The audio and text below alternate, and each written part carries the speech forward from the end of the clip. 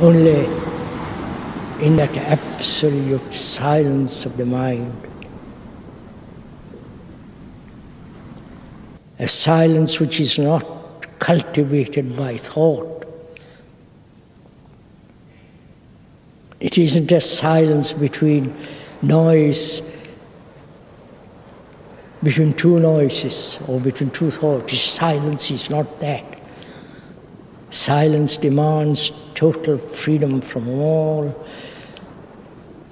self centered activity and pursuit of pleasure and fear and so on. Only in that silence completely can there be that which is nameless.